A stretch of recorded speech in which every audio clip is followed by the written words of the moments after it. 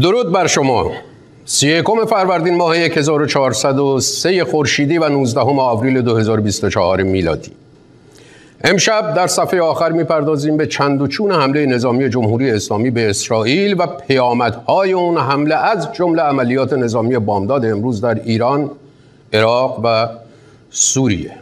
پرده آخرم آخر برنامه. بعد از 35 سال که از پایان جنگ ایران و عراق میگذره باز وحشت مردم از صدای انفجار ضد هوایی آژیر خطر جنگ. اصفهان ساعت چهار و پنجاه و پنج دقیقه صبح امروز نخستین آژیر خطر حمله هوایی.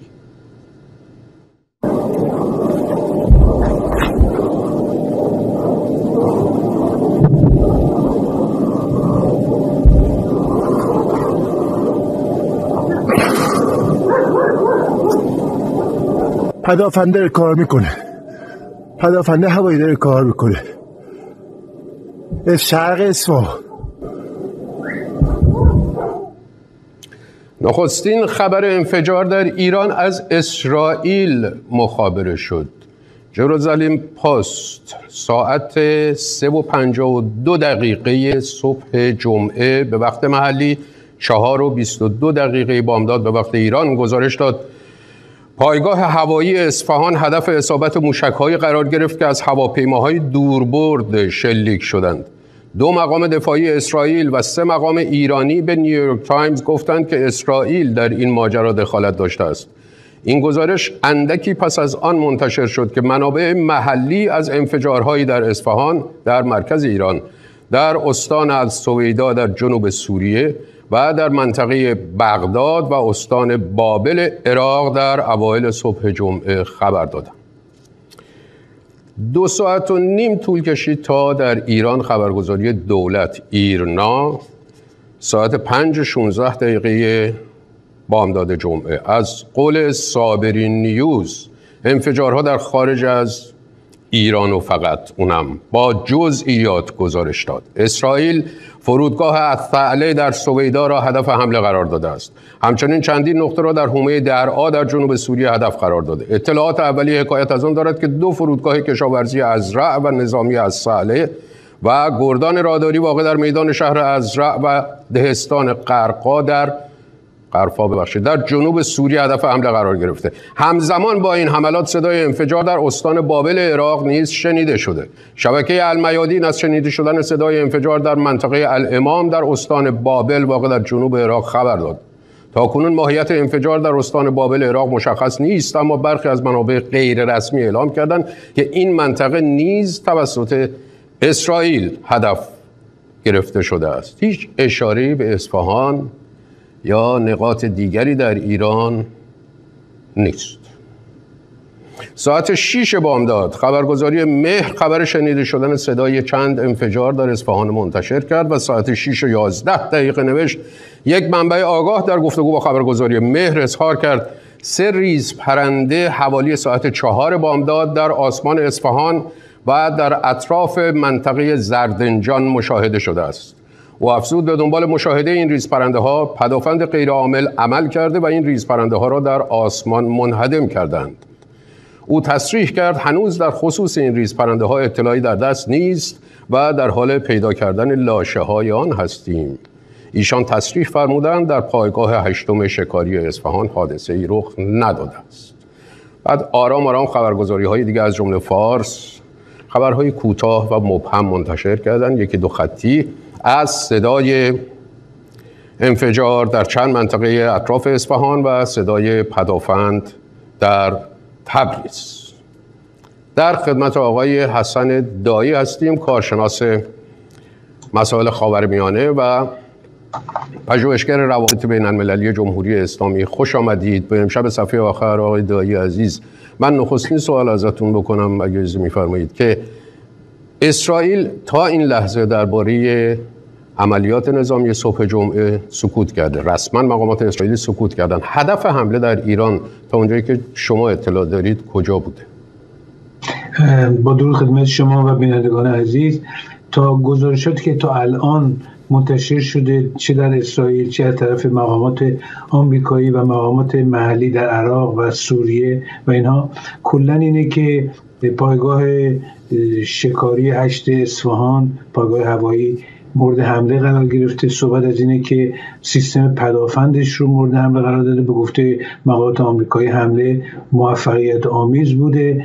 بیشتر گزارشات روی اینه که حمله با استفاده از هواپیمای جنگنده اسرائیل از داخل خاک عراق با شلیک موشک های که از طریق همین جنگنده ها شلیک شده بوده و صحبت هم در مورد درون پهباد هستش که استفاده شده که از داخل خود ایران احتمالا به پرواز در اومده.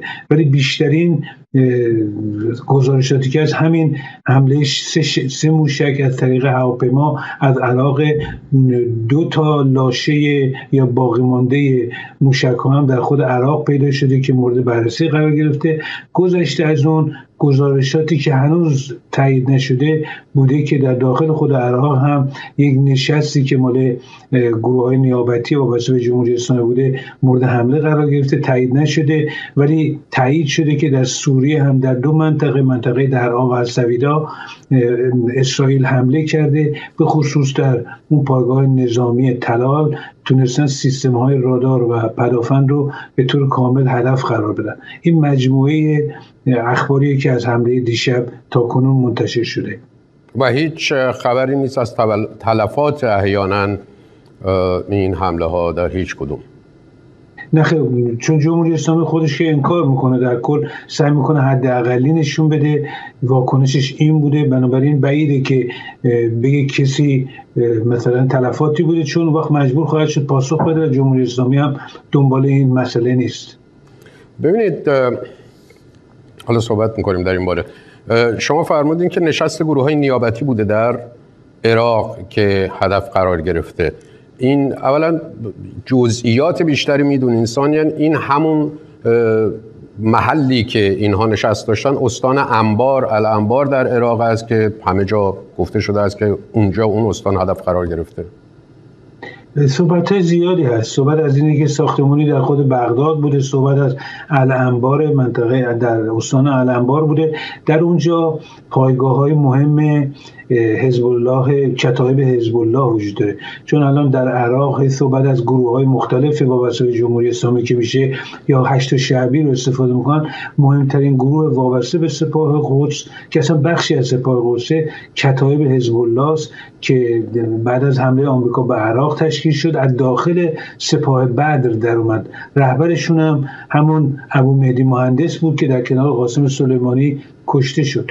این کتاب حزب الله به غیر از اینکه داخل عراق نقش مهمی داره در حملاتی که بوده پهبادی و غیره به اسرائیل هم نقش داشته به طور جدی. دومی که در کنترل مرز البو کمال یعنی طرف عراقش میشه القائم طرف سوریهش میشه البو کمال که نقطه مرزی بسیار مهمه برای ارتباط جمهوری اسلامی از طریق زمینی. به سوریه و لبنان در کنترل بیشترش در کنترل همین گروه وابسته به یعنی افراد وابسته به کتایب هستن و دیگرش هم اینه که تو خود منطقه دیر و زور و المیادین تو خود سوریه نقش برجسته ای دارن و به طور کلی مهمترین میشه گفت که مهمترین و موثرترین گروه نیابتی یا وابسته به سپاه قدس در عراق هست. آقای دایی در سوریه استان سویدا و نقاطی رو که در این استان در جنوب سوریه گفته می شود که اسرائیل زده این استان حالا نقشش هم احتمالا داریم می‌بینیم. نه فقط از نظر جغرافیای نظامی و سیاسی. چه اهمیتی به طور کلی داره که حالا درباره استان انبار در عراق فرمودین که محل تجمع بوده یا نشست بوده و در این این این سویدا همجوار درعا اینا چه چه اهمیتی داشته که خلاص اینجوری هدف قرار گرفتن؟ بله ببینید طور کلی در خود سوریه که جمهوری اسلامی دنبال چی بوده و اسرائیل چرا حملات رو انجام میده؟ جمهوری اسلامی در ژانویه 2012 وارد اونجا شد. از همون اوایل هم اسرائیل مورد حمله قرار می‌داد. مواضع سپاه قدس و اینها رو. اولین ژنرال به سپاه هم که سردار سپاه هم کشته شد اون حسام خوشنویس یا شاتری بود که کشتش که مسئول انتقال مهمات به حزب الله لبنان بود. خیلی از افراد برجسته سپاه قدس بودش. خب جمهوری اسلامی وقتی که جنگ سوریه شد به طور مشخص هم گفتن که رب پیدا می‌کنه به امروز که بسیار بسیار مهمه دست کم گرفته می‌شد. حتی از طرف آمریکا و غیره این بود که می‌گفتن اگه ما سوریه را دست بدیم در حقیقت پشت جبهه حزب الله لبنان رو دست دادیم و بعد می‌تونیم حزب الله رو دست بدیم. چون انتقال مهمات به حزب الله مهمتر مهمترین راه, مواصلاتیش از داخل سوریه هستش انجام میشه. و بنابراین اونجا رو سعی کردن نگه بدارن. از نظر سیاسی و دیپلماتیک هم سوریه پشت جبهه حزب الله لبنان بود. خب جمهوری اسلامی اونجا دخالت کرد. ولی آرام آرام پایگاه های ایجاد کرد. هدف های هدف دیگرش هم این بود که با توجه به ضعف بشار اسد به طور طولانی مدتتری در سوریه بمونه که این مسئله انتقال رو بتونه انجام بده انتقال تسلیحات و لوجیستیک رو در اونجا بمونه. خطر دیگری هم که می‌خواست ایجاد بکنه علیه اسرائیل ایجاد پایگاه بود در مرز با اسرائیل سوریه با اسرائیل بلندی های جولان و غیره. یکی هم یه منطقه به مرزی هست با اردن که همین که شما اشاره کردید جنوب به سوریه هست منطقه مرزی با اردن و عراقی که بسیار بسیار مهمه در اونجا. حالا جمهوری اسلامی در حال حاضر الان چه وضعیتی داره؟ جمهوری اسلامی الان تعداد زیادی پایگاه داره. اسرائیل مرتب این پایگاه ها رو زده هدف یکش جلوگیری از انتقال تسلیحات بوده. هدف دوش اینه که پایگاه هایی که نزدیک مرز سوریه هست اینها رو هدف قرار بده. روسیه همکاری کرده با اسرائیل و مجبور کرده که سپاه قدس رو تا ده ها کیلومتر عقب بشینن از مرز اسرائیل. ولی کماکان این منطقه جنوب که با اردن نقش بسیار مهمی داره برای جمهوری اسلامی به خاطر نزدیک مرز عراق و اردن و نزدیک اسرائیل هم قرار می‌گیره از جانب دیگری. در اونجا پایگاه داره. جمهوری اسلامی به غیر از پایگاهایی که در سوریه داره یادمون نره که اینها یه چیزی درست کردن در زمان همون جنگ جنگ داخلی به نام نیروی دفاع وطنی که حدود 50 بعضی صحبت 60 70 هزار هم می‌شد. اومدن آدمای معمولی رو اجیر کرد جمهوری اسلامی یه چیزی می‌خواست مثل بسیج روز کنه. اینا رو مسلح کرد و اینا فعال بودن. بعد از اینکه جنگ داخلی سوریه به شدت کاهش و تقریبا تموم شده خیلی کم شده خیلی از این افراد و این میلیشیاهایی که خود جمهوری اسلامی درست کرده بود اینا رو استخدام کرده که در این مناطق به خصوص این منطقه بسیار بسیار اینا فعالن. و آخرش اینه که در داخل خود ارتش سوریه هم جمهوری اسلامی نفوذ داره. اسرائیل حملات زیادی کرده از 2013 به خصوص تا کنون حملات جدی زیاد کرده ولی به طور کلی نتونسته جلوی ارسال تسلیحات و تجهیزات و جلوی ایجاد پایگاه توسط جمهوری اسلامی رو بگیره. و یکی دیگه هم اینه که الان مسئله مواد مخدر تولید قرصای کپتگونه که توسط با حمایت دولت سوریه توسط حزب الله و سپاه قدس انجام میشه که صادر می‌کنن به اردن و کشورهای عربی و برای همین هم اون منطقه جنوبی برای اینها بسیار اهمیت داره. آخر آخرش همینه که دیگه طولانی نشه اینه که جمهوری اسلامی یکی دیگر راه های انتقال اسلحه و تجهیزاتش اینه که از دریای مدیترانه در بنادر سوریه تخلیه می‌کنه از اونجا می‌تونه انتقال بده. این مسیر به خاطر طولانی بودنش از ایران چون میترسن از کانال سوئز این کار رو انجام بدن و دریای سرخ کانال باید دور بزنن آفریقا رو برن. طولانیه ولی از این طریق هم جمهوری اسلامی انجام میده. در مجموعش بگیم که اسرائیل هدفش در حملات به سوریه در حقیقت مهار یا کنترل ولی ولی از بین بردنش نبوده. از بین بردن تمام مواضع سپاه نبوده. ببینید یک نموداری شاید بشود گفت.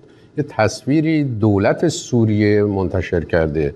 تعداد پایگاه های کشورهای مختلف و تا مقطع نیمه سال گذشته میلادی. مثلا 7 ماه پیش. منتشر کرده طبق این نمودار که داریم می‌بینیم جمهوری اسلامی 570 پایگاه نظامی داره در این کشور در حالی که نیروهای ائتلاف 30 پایگاه نظامی دارن. بقیه هم که داریم می‌بینیم. اولا این درسته یا حقوق بازی آقای دایی. ثانیا وقتی که اینجوریه چجوری میشه که به نظر میاد به هر دلیلی که انتظار دارم شما پاسخ بفرمایید دلیلشو دولت سوریه خیلی هم خلاصه در حال خوشوبش با جمهوری اسلامی نیست. در سفر اخیری که در واقع آخرین سفر قبل از حمله موشکی و پهپادی جمهوری اسلامی به اسرائیل امیر عبداللهیان رفت سوریه. هیچ کس نمیاد تو فرودگاه استقبالش. تا این برنامه فیلمش رو پخش کردیم. یکی دو هفته پیش. هیچ نرفت به استقبالش و خب یعنی این تحقیر دائمی دیپلماتیک جمهوری اسلامی در سفرها اون پای سوریه رو هم کشیده وسط. آیا این نشون نمیده که به حال خیلی رضایت نداره از چگونگی پیوندش با جمهوری اسلامی؟ کاملا درست میفرمایید ولی چاره ای نداره. بشار اسد به شدت ضعیفه. ارتشش واقعا بسیار ضعیفه. بخشی از ارتش الان وابسته به روسیان در اونجا نفوذ دارن برخی از این فرماندهان ارتش برخیش تحت نفوذ جمهوری اسلامی هن و میترسه. یعنی میترسه که با بیرون رفتن سپاه قدس از سوریه با اولین نارامی ها در داخل کشور سوریه که نارامی بسیار زیاده انجام میشه سقوط بکنه. و دومش که زورش هم به جمهوری اسلامی نمی‌رسه. جمهوری اسلامی از طریق میلیشه هایی که درست کرده نفوذی که داره قدرتی که در اونجا داره معلوم نیستش که ارتش سوریه بخواد حریفش بشه. جمهوری اسلامی همون کاری که در یمن کرد و دیدیم که رئیس جمهور سابقی که متحد همه حوثی ها بود وقتی که می‌خواست کنار بکشه به طرف عربستان بره همون 24 ساعته ترورش کردن. منظورم این نیست که حالا به یمن قدرت دارن. ولی مجموعی از فاکتورها نشون میده که بشار اسدی که خب دلش می‌خواد به کشور عرب نزدیک بشه خیلی تلاش کرده با عربستان و بقیه بقیه روابط بهتری داشته باشه به جای جمهوری اسلامی و آرام آرام از تحریم های آمریکا در بیاد. راهی نداره و تحریم هایی که علیه بشار اسد بوده از طرف آمریکا و قبل به هیچ وجه تا زمانی که بشار اسد سر قدرته برداشته نخواهد شد. متهم به جنایت علیه بشریت بیش از نیم میلیون نفر رو به کمک جمهوری اسلامی و روسیه کشته. ولی ما وقتی راجع به سوریه صحبت می‌کنیم یادمون باشه این یه مسئله دور اون طرف دنیا نیست. هرچی ما صحبت می‌کنیم که اسرائیل باید جمهوری اسلامی رو مهار بکنه تهدیدات رو علیه خودش دور بکنه توسعه طلبی منطقه جمهوری اسلامی رو چه آمریکا و چه اسرائیل باید مورد هدف قرار بدن در قلب قلب خودش مسئله سوریه است. برای حل مسئله حزب الله لبنان باید مسئله سوریه رو حل بکنن. یک نکته که یادم رفت بگم این تعداد پایگاهی که اشاره فرمودید به نظر من شاید مثلا مقرهای خیلی کوچک رو هم اضافه کردن. پایگاه ها صحبت تعداد پایگاه های مهمی که میشه حدود 20 برخی 25 تا میگن در برخی برخی از مناطق خیلی قوی یکی همون منطقه دیروزور المیادین که نزدیک همون مرز البوکمال میشه. در من در شرق سوریه بسیار مهم و استراتژیکه در کنارش هم نیروهای وابسته به آمریکا قرار دارن به هم هم زیاد کاری ندارن. یعنی اونها به جمهوری اسلامی کاری ندارن. یکی هم منطقه حلبه که فرودگاه بینالمللی حلب جمهوری اسلامی به اونجا پرواز داره و به طور کلی در امنیتی در اختیار جمهوری اسلامیه. سپاسگزارم ازتون آقای دایی. یک مروری من می‌کنم بر حمله موشکی و پهپادی شنبه شب گذشته جمهوری اسلامی به اسرائیل. بعد باز میگردیم به شما آقای دایی عزیز. بله.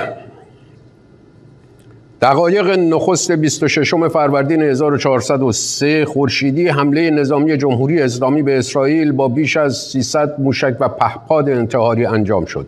این حمله که شش ساعت به طول انجامید هیچ خسارت جانی در اسرائیل به بار نیاورد و خسارات مالی ناچیزی به جا گذاشت. حالا 6 ساعت نه سه ساعت ولی این خلاصه کل ماجرایی است که شنبه شب گذشته اتفاق افتاد.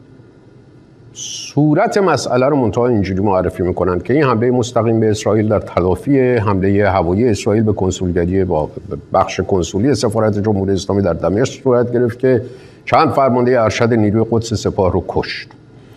این صورت معرفی شده سیاسی موضوعه به خود بازتر نگاه کنیم به قضیه. جمهوری اسلامی 45 سال شعار نابودی اسرائیل میده. جنگ ایران و عراق با شعار راه قدس از کربلا میگذره برای تحقق همین شعار راه انداخت. بعد از جنگ هم بیش از سی ساله که ایران رو در آستانه جنگ نگه داشته با همسایه ها با آمریکا با اسرائیل.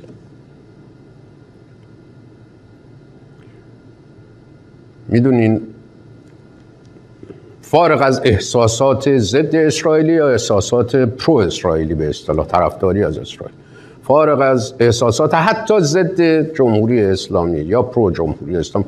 بیاین یه نگاه واقع بینانه بکنیم. هممون به موضوع. ببینید چند ساعت بعد از حمله شنبه شب جمهوری اسلامی به اسرائیل حساب کاربری علی خامنه ای در اکس توییتر سابق به زبان عبری نوشت قدس شریف در اختیار مسلمانان قرار می گیرد و دنیای اسلام آزادی فلسطین را جشن خواهد گرفت. چه باید کرد با این حکومت؟ به خصوص در این شرایط. فارغ از رفت و آمدها و لفاظی های دیپلماتیک خود جمهوری اسلامی و بقیه کشورها در نشست های منطقه‌ای و جهانی. آرزوی نابودی کشور اسرائیل یک واقعیت در بین مقامات جمهوری اسلامی. ولی تحقق از بین بردن یک کشور عضو سازمان ملل متحد یک خیال خامه یک جنایت که هر دو کشور ایران و اسرائیل و کشورهای منطقه رو لب پرتگاه خون و ویرانی و مرگ قرار داده. وقتی هم که یک خیال خام باشه و بخوای به اصطلاح واقعی نشونش بدی باید با دروغ پردازی های رسانه‌ای و تبلیغاتی رنگل آبش بدی.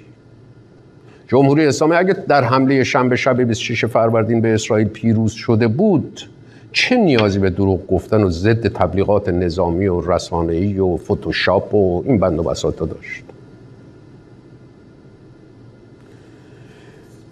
دوازده و سی و شیش دقیقه بعد از نیمه شب شنبه 26 فروردین یعنی بلافاصله بعد از شروع حمله به اسرائیل سپاه پاسداران اولین اطلاعیش رو همون موقع منتشر می‌کنه چی میگه؟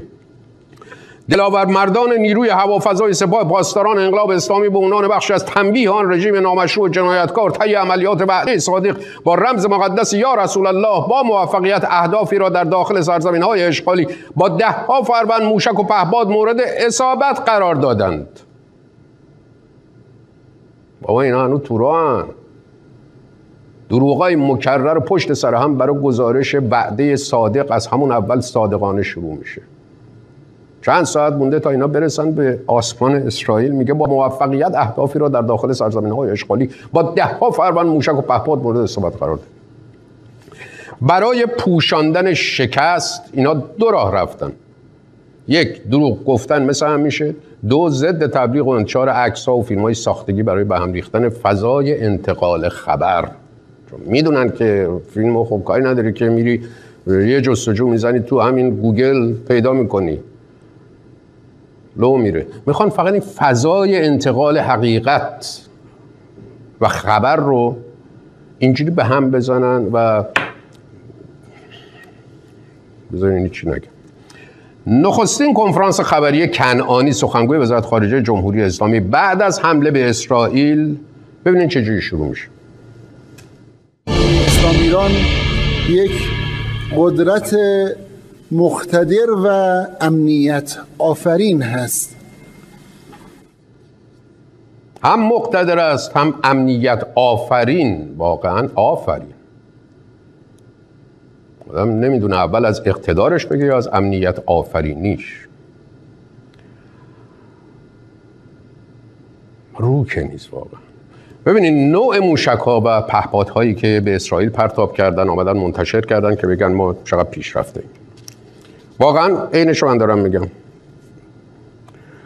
پهپاد شاهد 136 شناخته شده ترین عضو خانواده پهپادهای شاهد است. این پهپاد به دلیل برخورداری از سامانه های ناوبری تلفیقی پیشرفته از دقت اصابت بسیار بالایی برخوردار است. دیگر سلاح پیشرفته ببخشید دیگر سلاح به کار رفته در عملیات وعده صادق.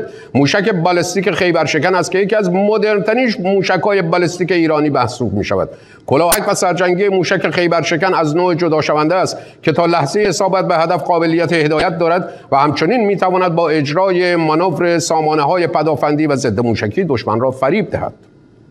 موشک اماد نخستین موشک بالستیک سوخت مایه و دوربرد ایران است که به سرجنگی هدایت شونده مجهز شد که این موضوع به وسیله نصب بالک ها بر روی سرجنگی اماد رخ داد. نصب بالک بر روی سرجنگی قابلیت هدایت و کنترل موشک تا لحظه اصابت را فراهم می‌کند. موشک پاوه. یکی از آخرین دستاوردهای موشکی کشورمان در حوزه کروز است. این موشک می‌تواند از سمت‌های مختلف به هدف خود حمله کند. برخورداری از این قابلیت باعث می شود تا این موشک از سمتی غیر از آن سمتی که دشمن انتظار حمله را دارد به هدف خود نزدیک شود و به این ترتیب باعث فریب و سردرگمی پدافند هوایی دشمن شود. دیدین بازم ببینیم که این موشک ها و پهپادهای پیشرفته جمهوری اسلامی و بینظیر چه کردن در وعده صادق؟ 27 فروردین اسرائیل اولین فیلم از سرنگونی پهپادها و موشکهای کروز سپاه توسط جتهای جنگنده خود را منتشر کرد. همزمان یعنی فردای حمله فلان صادق. وزارت دفاع اسرائیل ویدیوهای متعدد منتشر کرد که نشون میده حمله موشکی و پهپادی جمهوری اسلامی خسارتی به خاک اسرائیل نزده. از جمله این ویدیو از پایگاه هوایی نواتیم که جمهوری اسلامی میگه هدف اصلی حمله بوده. این تنها خسارت ناشی از حمله موشک بالستیک دیشب ایران درس کردن مال فردای حمله است. به پایگاه هوایی نواتیم در جنوب اسرائیل است. از اون ور البته خب دستگاه دروغ بیکار ننشست. مکرر سیمای آقایون و همه رسانه های ریز و درشتشون یه فیلمی پخش کردن. مکرر اینو همون در ساعت اول روز بعد پخش کردن. بالاش هم نوشتن سهیونیست ها در آشفته ترین خواب های خودشان همچنین صحنه هایی رو نمی‌دیدن. اینجا صحرای نقب است.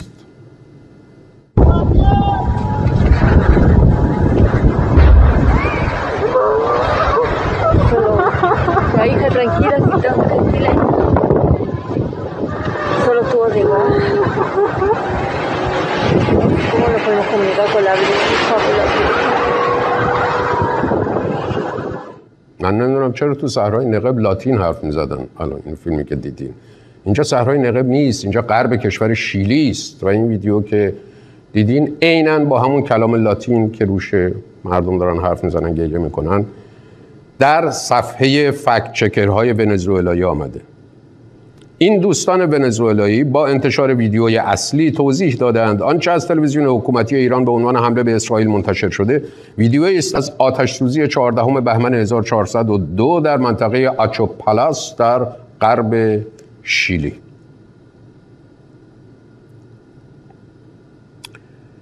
خبرگزاری سپاه فارس و البته از رو دست فارس خبرگزاری ها و وبسایت های دیگر جمهوری اسلامی این تصویر رو زدن نوشتن رسانه های غربی این تصویر رو نمی‌زنن موفقیت های ما رو در زدن اسرائیل سانسور می‌کنن اینو منتشر نمی‌کنن.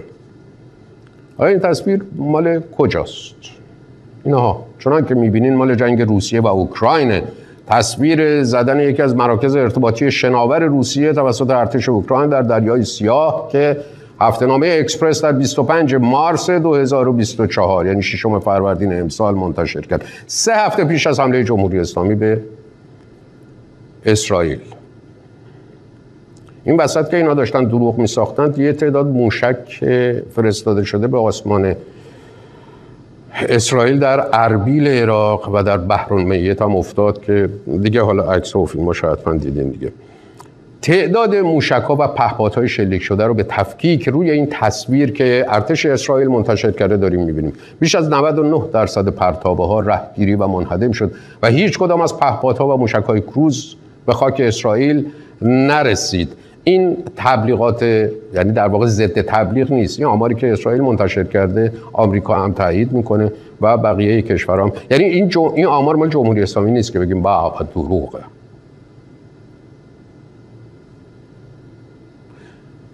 از اینایی از اینایی که رفتن 99 درصدشون رهگیری شدن و افتادن همون پیشرفته ها و فلان و بهمان اینا چند تاشون همون اول راه افتادن تو ایران همونجا که رفتن هوا.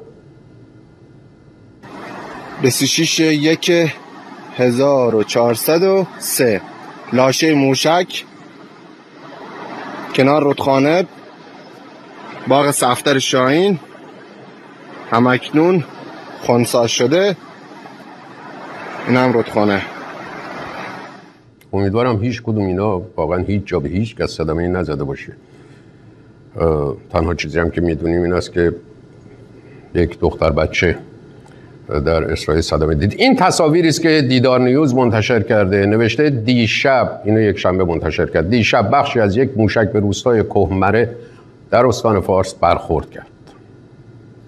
ببینید در 24 ساعت اول بعد از حمله به اسرائیل این تصاویر و ویدیوها در شبکه های اجتماعی و بعضی رسانه ها حتی در ایران منتشر شد. حکومت دستپاچه شد فوری رسانه ها و خبرنگاران در فضای حقیقی و مجازی رو تهدید کرد. سایت گردابش انداخت جلو مال اطلاعات سپاه.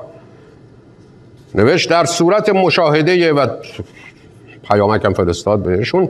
در صورت مشاهده هر گونه فعالیت در حمایت از دولت جهدی اسرائیل در فضای مجازی در اسرع وقت اطلاعات و مشخصات صفحات مذکور و گردانندگان آنها را به بخش گزارش های مردمی سایت گرداب ارسال نمایید. خودشون که خبرسازی می‌کنن. اگر هم این وسط خبرنگاری کسی پیدا بشه که بخواد گوشه ای از واقعیت رو بنویسه به خاطر اینکه دروغ نمیگه مجازاتش می‌کنن. حکومت ایران اصرار دارد که این عملیات را پیروزی بزرگ توصیف کند و با هر کسی یا رسانه‌ای که برداشت متفاوتی ارائه دهد برخورد قضایی کند. که در قدم اول حسین دهباشی، عباس عبدی، روزنامه اعتماد و جهان صنعت در این رابطه به دادستانی احضار شدند. سیستم سیستم فاشیستیه. میگه ما هر جوری خبر رو منتشر می‌کنیم همین یگانه است. همه عین هم همونو باید همه جمعیت 85 میلیونی ایران تکرار کنن. خبر باید یک دست منتشر بشه. همینه که ما میگیم. بعد از این تهدیدها اینا سخنگوی فارسی زبان ارتش اسرائیل یه ویدیو تو شبکه های اجتماعی منتشر کرد ببینیم. من اینجا در کنار یکی از موشک‌های بالیستیکی هستم که چند روز پیش ایران علیه کشور اسرائیل پرتاب کرد. موشکی که توسط سامانهای پدافند هوایی اسرائیل رهگیری شد و برخلاف تبلیغات دروغین رژیم در انجام مأموریت مخرب خود نتوانست خسارتی وارد کند. رژیم ایران ادعا می کند که در عملیات وعده ساده پایگاه اطلاعاتی ارتش اسرائیل در ارتفاعات جولان و پایگاه هوایی نباتیم را منهدم کرده. اما موشکی که اینجا در کنار من است ثابت می کند که آنچه صادقا در اینجا منهدم شده داستانهای دروغی است که رژیم به آنها تکیه می کند ظاهرا میزان خسارت پرتابه های سپاه به مجموعه باغ شهری ریحانه در حوالی شیراز از اهداف در نظر گرفته شده در اسرائیل بیشتر است. چرا جمهوری اسلامی برخلاف نظر عموم به اسرائیل مستقیم و از خاک ایران حمله کرد با این وضعیت یعنی با این افتضاح. آی دایی عزیز سوال این است که جمهوری اسلامی می‌تونست از گروه های نیابتیش وابسته هاش مزدوراش اینا حزب الله و بقیه استفاده کنه و اسرائیل رو بزنه و حالا کاری نداریم که چه نتایجی می‌داد. چرا خودش مستقیم وارد جنگ شد؟ و آیا, آیا توانایی هاشو نمی‌دونست؟ در واقع ناتوانایی هاشو نمی‌دونست که همه دیدم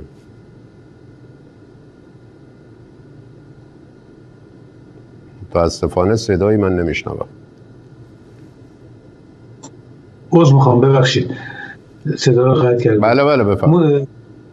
برخلاف نظر بسیاری از کارشناسان جمهوری اسلامی این حمله رو انجام داد یعنی ریسک بالایی رو پذیرفت. ولی ریسک حساب شده بود از طرف جمهوری اسلامی. در حقیقت یک کپی برداری بود از حمله ای که به پایگاه عین الاسد آمریکا در عراق کرده بود. بعد از اینکه قاسم سلیمانی کشته شد.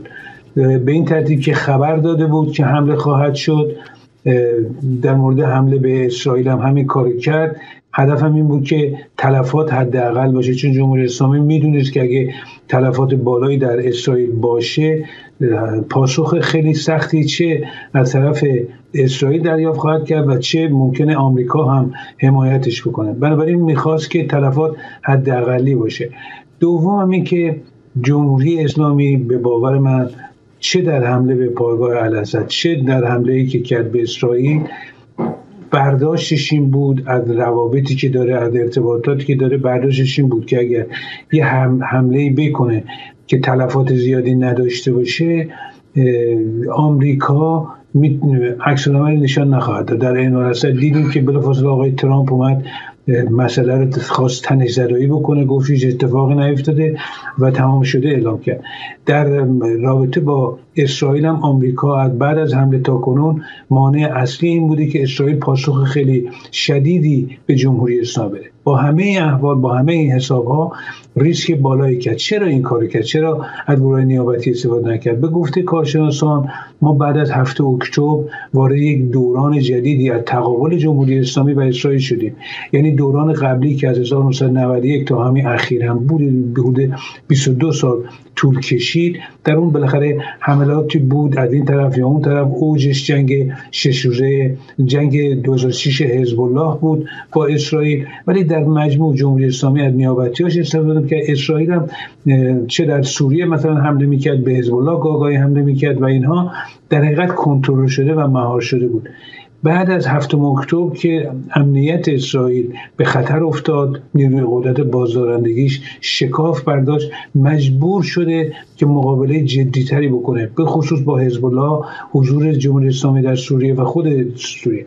خب این ضرباتی که طی 6 ماه جمهوری اسلامی دریافت می‌کرد به شدت از نظر روحی نیروهای وابسته به جمهوری اسلامی رو تضعیف کرده بود. جمهوری اسلامی بعد یه پاسخی می‌داد و نمی‌تونست پاسخ خیلی شدیدی هم از طرف گروه نیابتیش بده.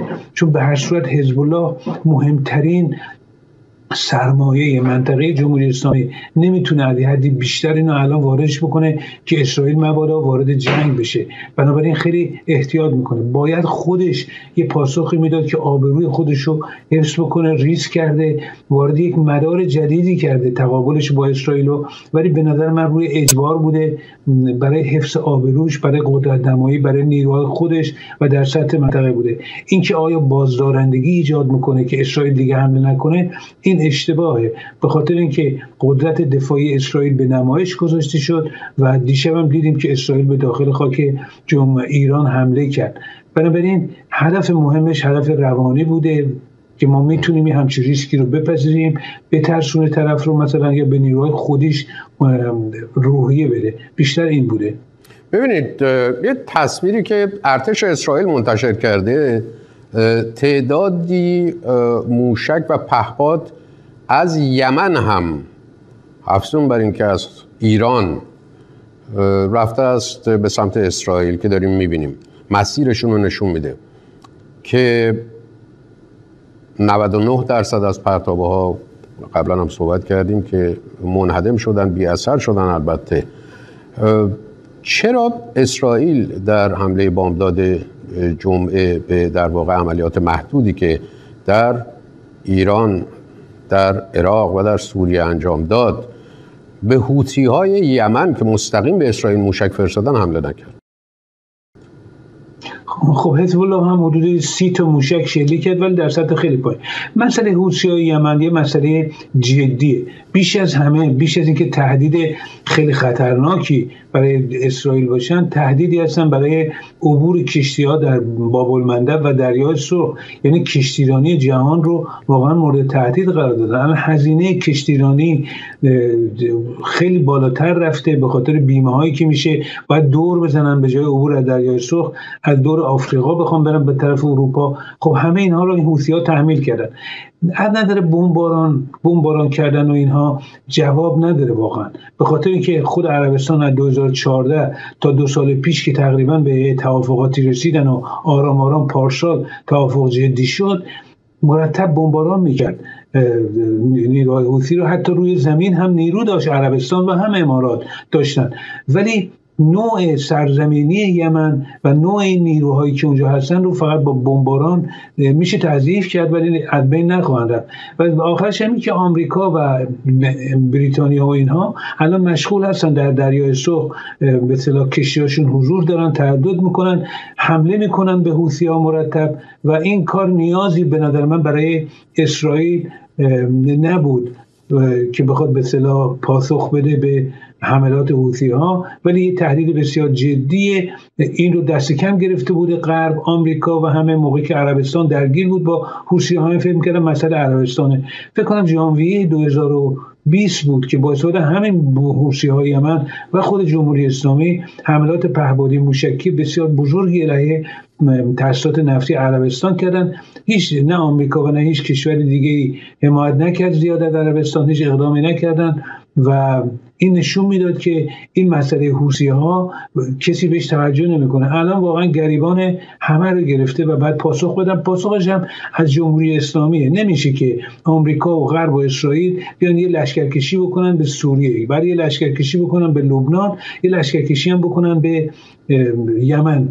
نخواهند کرد. همه چیزی هم عملی نیست. راه حلش اینه که واقعا جمهوری اسلامی که پدرخوانده همه این تامین کننده تسلیحات و مالی و همه چی برای اینهاست این رو تحت فشار قرار بدن. مقابله باهاش منظورم فقط مقابله نظامی نیست. باهاش واقعا مقابله بکنن تا بتونن این مسائل رو حل بکنن. ببینید مقابله خب اگر نظامی نباشه یعنی همین تحریم ها و اینها. جز این چیه؟ تحریم ها هم که در تمام طول این مدت نشون داده که جمهوری اسلامی رو نمی‌تونه مهار بکنه. بله. ببینید کلنش اینه که یه سری موانعی وجود داره برای برخورد با جمهوری اسلامی. یکیش اینه که آمریکا قدرتی که بالاخره اگه اسرائیل هم بخواد اقدامات جدی دراز مدت بکنه بعد آمریکا حمایت بکنه باید موافقت بکنه که نمی‌کنه حرکت کنه. یکیش اینه که آمریکا از دوره‌ای که اوباما بود بعد ترامپ اومد و همین بایدن می‌خوان از خاورمیانه بیان بیرون. هدفشون این بوده. دو مردم آمریکا خواهان جنگ دخالت دیگه در کشور خارجی به خصوص در خاورمیانه نیستن. چالش بزرگ استراتژیک آمریکا چین درگیری با روسیه در اوکراین بسیار مهمه. بنابراین توجه زیادی به مسائل خاورمیانه ندارن. ولی نمی‌تونن اجازه بدن که جمهوری اسلامی و گروه نیابتیش حاکم بشن در منطقه. اتفاقی که بعد از 6 اکتبر شد و وارد دوران جدیدی شدیم یکیش همینه. نشون میده که جمهوری اسلامی می‌خواد مسلط باشه در منطقه باجگیری بکنه. این امنیت منطقه رو به خطر میندازه. آمریکا باید اقدام بکنه.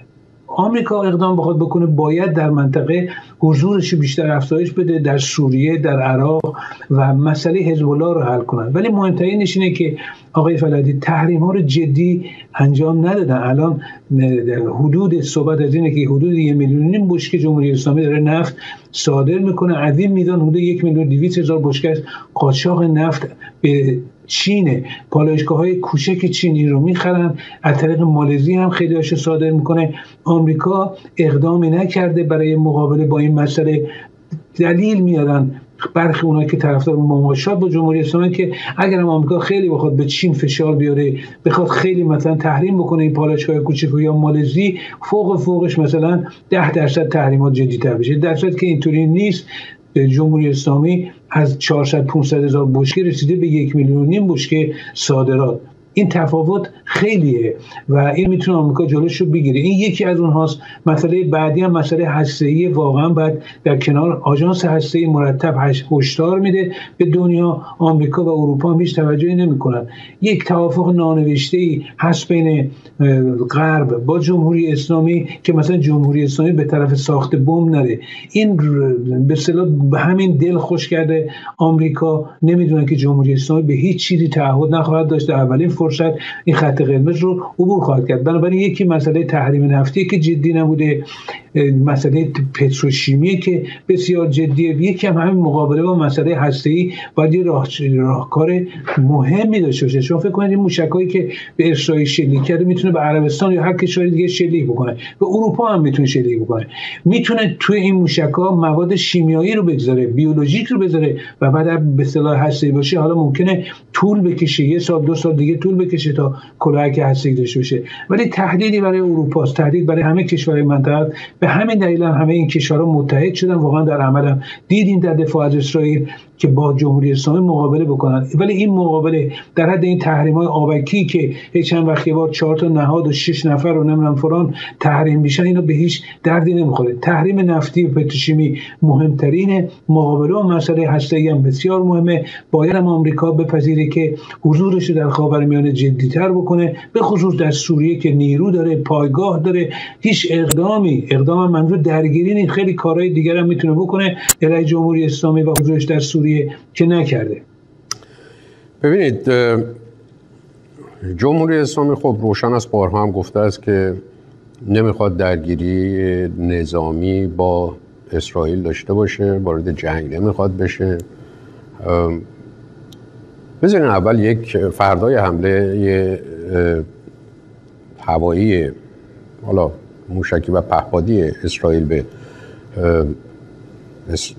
ببخشید جمهوری اسلامی به اسرائیل در فردای حمله که ارز می‌کنم این یک شنبه پیش اطلاعیه شماره دو سپاه منتشر شد که نوشت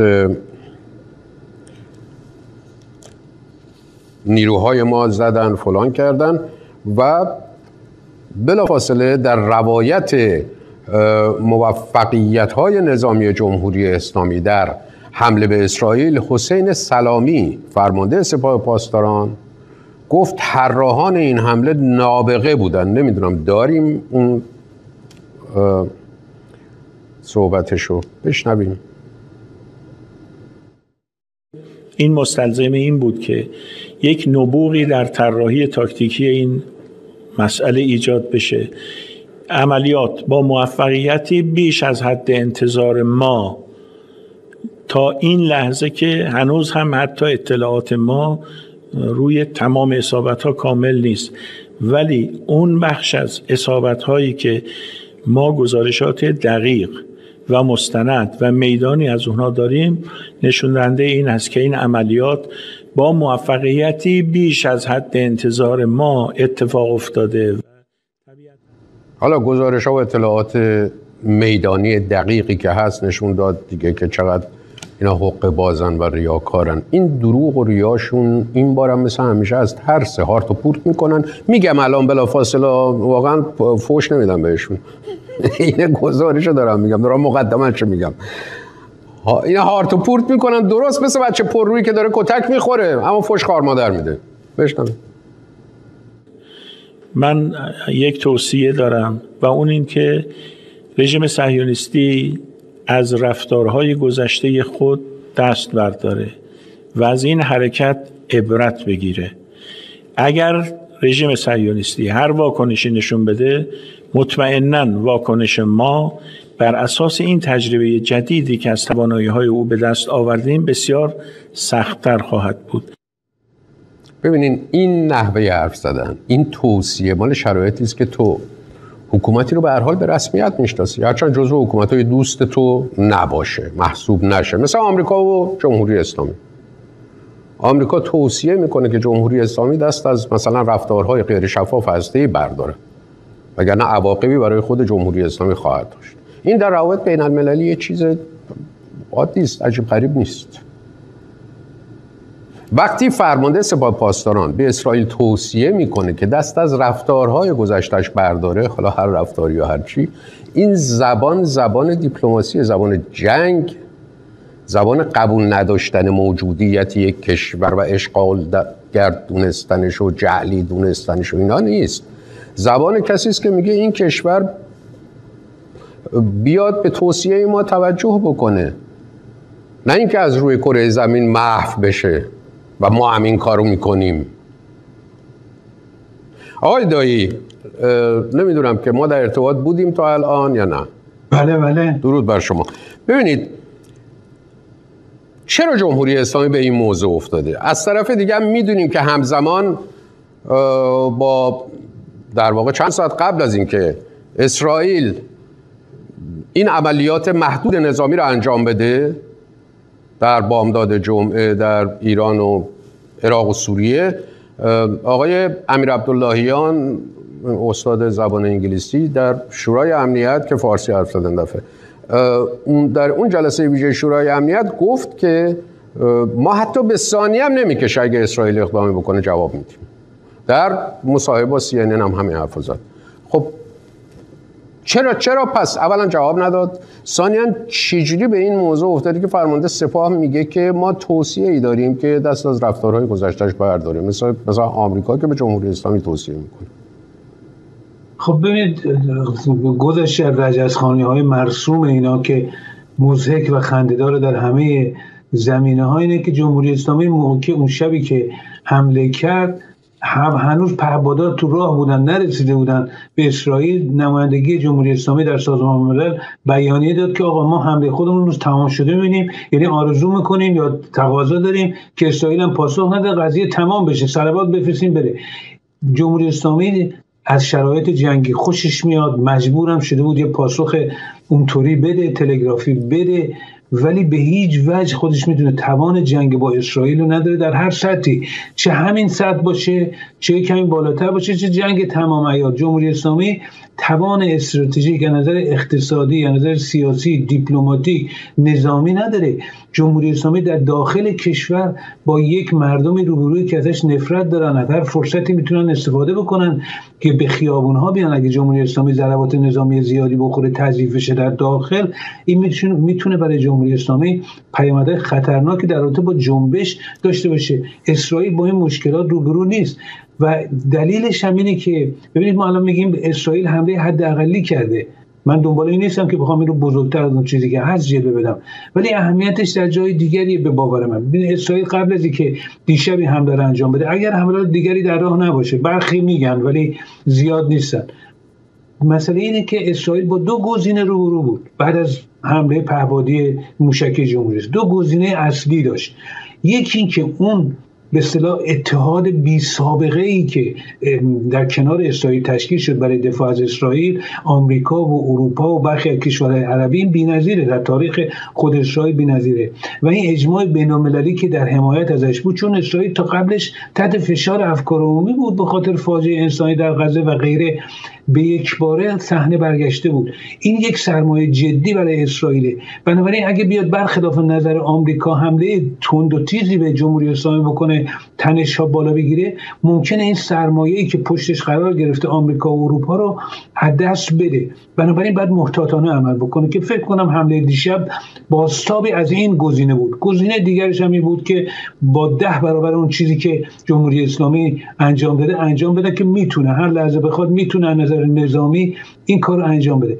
بنابراین اینکه این حمله رو انجام داده دیشب به این معناست که اون سرمایه بزرگش رو کرده. حالا به چه میزان می‌تونه این سرمایه رو استفاده کنه؟ از نظر مالی از نظر نظامی دریافت خواهد کرد. تمام سیستم دفاعیش رو به روز خواهد کرد. اشکالاتش رو دیدن قویتر خواهند شد. کشورهای عربی به طور جدیتر این بار در کنار اسرائیل خواهند بود چون تهدید جمهوری اسلامی جدی. بنابراین همه اینها به ضرر جمهوری اسلامی. به این معنا نیست که چون دیشب حمله تند و تیزی نبوده جمهوری اسلامی برنده است. نه اتفاقا اسرائیل به همون صد از حملاتش به حزب الله و در سوریه ادامه خواهد داد. ولی این بار با حمایت بین‌المللی بیشتری پشت خودش خواهد داشت. همه اینها به ضرر جمهوری اسلامی که توان استراتژیک تقابل با اسرائیل رو نداره به نظر من. یعنی در این یه دقیقه پاسخ بفرمایید آقای دایی. یعنی این فوتبال گل کوچیکی که اینا بازی کردن همین اینجا دیگه داور سوت پایان رو زد. درسته؟ خب ببینید اینا یه بار سال 91 با خدمتتون گفته بودم قبلا. 91 اومدن فکر کردن منطقه رو به هم بریدن مخالفت با صلح اسرائیل کردن چوبشو آرام آرام با تحریما و غیره خوردن.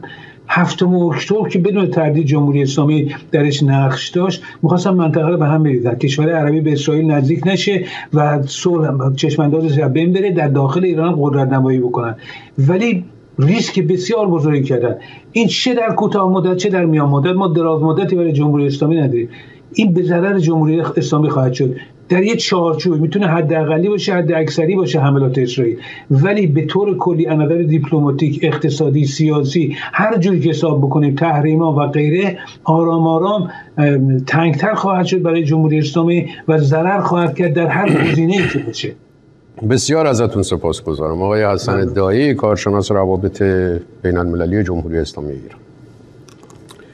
خب ببینید در این دقایق آخر من یه نکته خودمونی تر رو می‌خوام مطرح بکنم. جمهوری اسلامی دلیل این که میگه چرا حمله کردیم به اسرائیل این است که میگه چون در قبال حمله اسرائیل به کنسولگری جمهوری اسلامی سفارت ولی بخش کنسولی سفارت جمهوری اسلامی در دمشق سوریه شورای امنیت سازمان ملل هیچ اقدامی نکرد. نیامد همه رو جمع کنه علیه اسرائیل اطلاعیه بده محکوم بکنه قطنامه بده این داستان. خب؟ به همین دلیل هم خب ما دست به کار شدیم. باید از خودمون دفاع کنیم. حالا در قبال حمله جمهوری اسلامی به خاک اسرائیل هم شورای امنیت بیانیه و قطنامه ای نداد و اقدامی نکرد. حالا حمله بامداد جمعه محدود اسرائیل به ایران، عراق و سوریه باز بعیده که اصلا اقدامی بشود حتی جلسه شورای امنیت تشکیل بشود به دلیل اینکه اینقدر محدود بوده این حمله ها که این سر صدا هم ایجاد نکرد و باید منتظر پیامدهاش بود. حالا منظور بنده اینه. صحبت های سخنگوی وزارت خارجه جمهوری اسلامی رو بشنوین الان. فقط تو این صحبت هایی که داره می‌کنه به جای جمهوری اسلامی بذارین اسرائیل به جای آمریکا انگلیس فرانسه بذارین چین و روسیه. جای متحده رو عوض کنین. طبق استدلالی که ایشون میفرمایند یعنی استدلال جمهوری اسلامی حمله اسرائیل به ایران هم مشروع پس. جمهوری اسلامی ایران با توجه به عدم اقدام لازم و شایسته از سوی شورای امنیت سازمان ملل متحد. و همچنین در نتیجه رفتار غیر مسئولانه آمریکا انگلیس و فرانسه در مسیر ایجاد بازدارندگی و پیشگیری از تکرار جنایت رژیم صهیونیستی و نیز دفاع از امنیت و منافع ملی خود حرکت کرده. وقتی اینجوری به جهان و به روابط بین المللی نگاه کنی نتیجهش میشه یکی تو بزن تا یکی من بزنم. حالا فارغ از نتایجش. هیچ صلح و همزیستی هم متصور نیست. و جمهوری اسلامی نمی‌خواد متصور باشه. شعار نابودی اسرائیل از اول روی کار اومدن حکومت جمهوری اسلامی جار زده شد. تو این 45 ساله هیچ وقت اسرائیل شعار نابودی ایران رو نداده. و مدام شعار نابودی اسرائیل رو از مسئولان جمهوری اسلامی و از گروه های وابستهش مثل حماس و حوثی ها و غیره و غیره شنیده. اینه که میگم یکم واقع بینانه نگاه کنیم. همه ایدئولوژی زده شدن. با احساسات. شاه فن فلان. از فردای 26 فروردین که حمله هوایی جمهوری اسلامی به اسرائیل انجام شد تا همین لحظه که بنده دارم خدمتتون صحبت می‌کنم. تا همین چند ساعت پیش. دیدین که صدای مضطرب از اصفهان رو شنیدین دیگه که پخش کردیم تو این برنامه. به ضد هوایی می‌زنن فلان صدای آژیر مردم ایران از هم می‌پرسن همچنان می‌پرسن که کی اسرائیل حمله می‌کنه دوباره. توی شش روز گذشته مدام میپرسیدن کی اسرائیل حمله می‌کنه. این فقط کنجکاوی نیست. این خوشحالی نیست از اینکه اسرائیل بزنه جمهوری اسلامی رو ناکار کنه. حالا بعضا بخشی از جمعیت دارن خوشحالی ولی اینا نیست. واقعا اصل این ماجرا نگرانی و استرابی است که طبیعتا مردم یک کشور دارن. چون نمی‌دونن قراره چه اتفاقی بیفته. جمهوری اسلامی از بعد از جنگ ایران و عراق کشور رو همیشه گفتم که در آستانه جنگ نگه داشته. این استراب چهل ساله بالاخره یه جایی باید تموم بشه. چجوری ممکنه با یک فاجعه مگر اینکه جنبش انقلابی علیه جمهوری اسلامی برآمد تازه‌ای داشته باشه. بریم پرده آخر. معنی ندارد. یه رژیم جعلی پیدا شده. خوش شده باشه. یه عده یهودی را از دور جهان جمع کردن اونجا آوردن. این معنا ندارد که من می‌خوام با اینا بجنگم. اومده من از خونه زندگی بیرون کرده. خیلی خوب. معنا ندارد من برم بزنم یکی از اینا رو بکشم اینا بزنن 300 شیعه بکشن. بلا ولا تلا کار حرام کردم. فلانی گفته فلانی گفته دو تا زن داره من می‌دونم. آزاداش هم هر کدومشون یه جایی رئیسن. بچه های خودش بفرسته بره فلسطین عملیات شهادت طلبانه بود چون بچه خودشون نفرسته چرا بچه های خودش برای دفاع نفرسته از اونجا؟ اینجا نسته هورت میده که برید. خود خودت برو. شب و روزگار خوش.